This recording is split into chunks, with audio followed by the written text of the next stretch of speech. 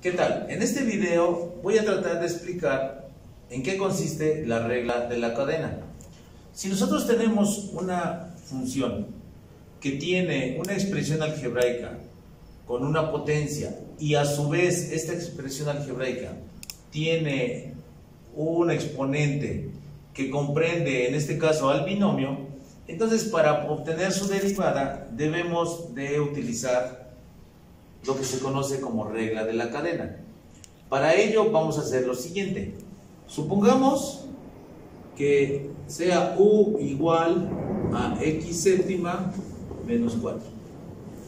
Si nosotros asumimos que u es igual a x séptima menos 4, entonces estamos haciendo un cambio de variable. Por lo tanto, mi, mi función y sería igual a u y a la quinta.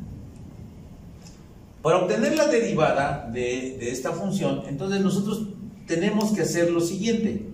y' será igual a la función f' de u porque estamos ahora asumiendo que mi variable es u pero debemos de multiplicarla ahora por la derivada de esta función u' con respecto de x debemos de recordar la composición de funciones.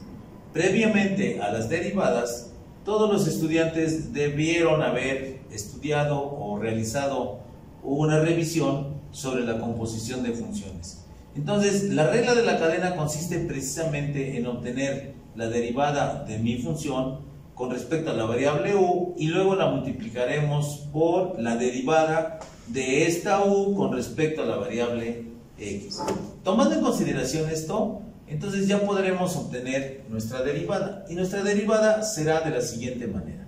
y' será, si multiplicamos este exponente por su coeficiente, sería 5 por u a la cuarta.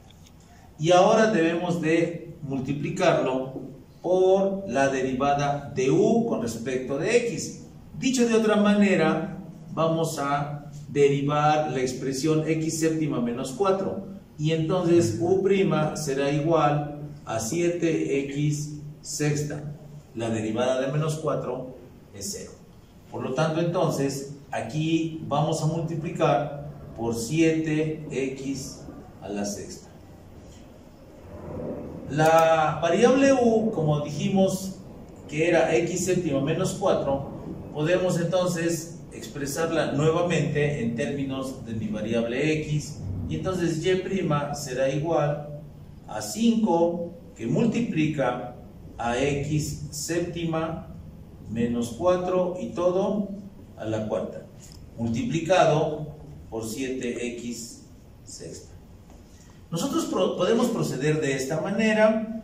Eh, este 5 va poderse multiplicar por 7x sexta y luego multiplicarlo por mi binomio que está elevado a la cuarta potencia. Dicho de otra forma, y' será igual 5 por 7, 35, x sexta que multiplica a x séptima menos 4 y todo a la cuarta. Esta sería la derivada de mi función x séptima menos 4 elevada a todo o el binomio a la quinta potencia. En esto consiste la regla de la cadena. Muchas veces en la práctica ya no hacemos el cambio de variable, es decir, aplicamos directamente la derivada de mi exponente y multiplicamos luego por lo que aparece dentro del paréntesis, de la siguiente manera. Supongamos que y es igual a x cuadrada menos x más 1 y todo elevado, digo, perdón, todo dentro de una raíz cuadrada. Como sabemos, no podemos derivar de esta forma, pero lo podemos expresar como una potencia. Entonces esto sería igual a x cuadrada menos x más 1 y todo a la 1 medio. Recordemos que la raíz cuadrada se puede expresar como una como un exponente, escribiendo el, exponente será un medio que es el que coincide con el índice de mi raíz. Por lo tanto, entonces, y' es igual. Primero derivamos con respecto al exponente, entonces sería un medio por 1, quedaría un medio, paréntesis, x cuadrada menos x más 1 y se cierra el paréntesis. Y el exponente sería un medio menos 1 menos un medio.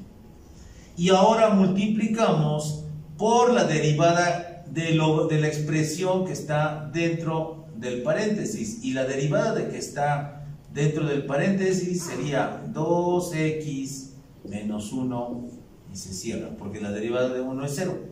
Por lo tanto, entonces, y' será igual un medio que multiplica a 2x menos 1 y como tenemos un exponente negativo podemos pasar este exponente negativo como denominador y me quedaría lo siguiente. Me quedaría 2x menos 1 sobre 2 que multiplica a x cuadrada menos x más 1 a la 1 medio.